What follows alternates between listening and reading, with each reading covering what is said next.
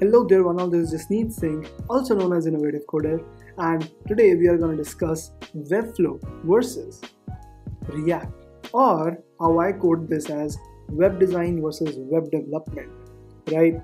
So, first of all, the thing is that there are two things, right, which I just named, which are web design and web development. Now, the stuff is, if you if you think about that, web design is when you build some great UI right? And then develop a static site. Now with Webflow or WordPress or Wix or Squarespace, all of these are static site generators. What you can do is at maximum, you can build a landing page, an e-commerce website, or some kind of a blogging website, right? This is the limitation.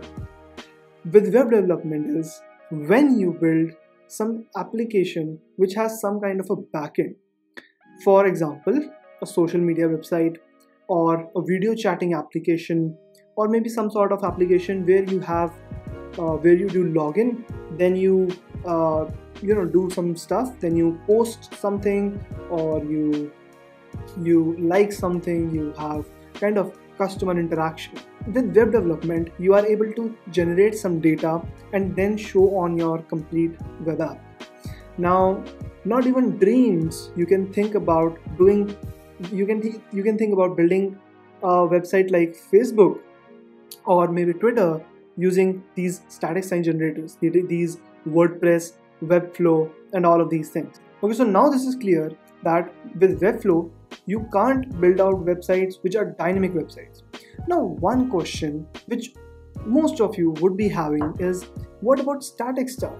We do have static site builders inside coding, right?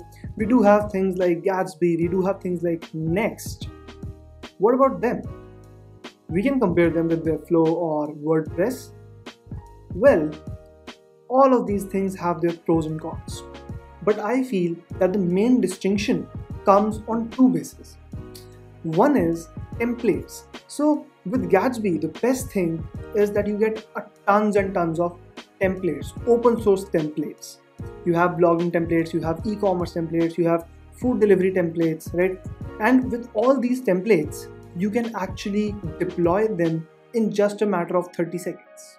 That's the best thing about these things. Gatsby next.js right?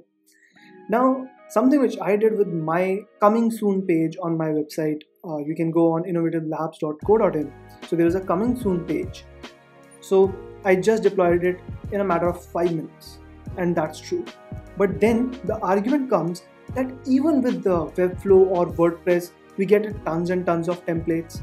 But the fact is that all these templates and plugins which come with WordPress or Webflow or Squarespace are not free. They are not free. But when you when you go into open source development, everything's free to use, right? You must credit the author. The next distinction is SEO search engine optimization. Now, with things like Gatsby, you get some really nice SEO settings. Now, there is a complete component known as SEO.js, uh, which sets out SEO properties for your page. So, whether it be your blog, whether it be your e commerce store, whether it be anything out there, you always need an SEO uh, management stuff. With Gatsby, one can even use techniques like uh, code splitting which load the website much faster. So you load your website in a multi-threaded manner which in turn reduces the loading time, right? But no such features are given in Webflow. Webflow sites are heavy and often contains huge images, huge videos and some high pixel quality stuff because of course they are developed by designers. So it takes a lot of load time I think Webflow has done a great job at reducing the learning curve for developers because now what web developers need to think about is learning React, learning stuff like Gatsby, learning things which are actually higher, which are actually a, a level above HTML and CSS, right? need to learn HTML and CSS. In any case, you would be using JSX and stuff, but still, if you you you don't need to uh, get yourself stuck at HTML and CSS that stuff is actually being handled by Webflow and all of these things.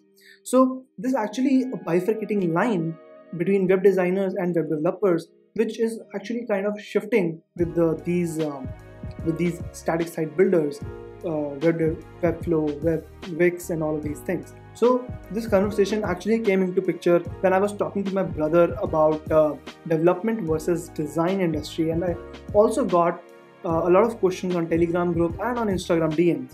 If you are not connected to me on Instagram, then you should connect. The link is given in the description. Do not forget to follow me, hit the like button, and subscribe the channel.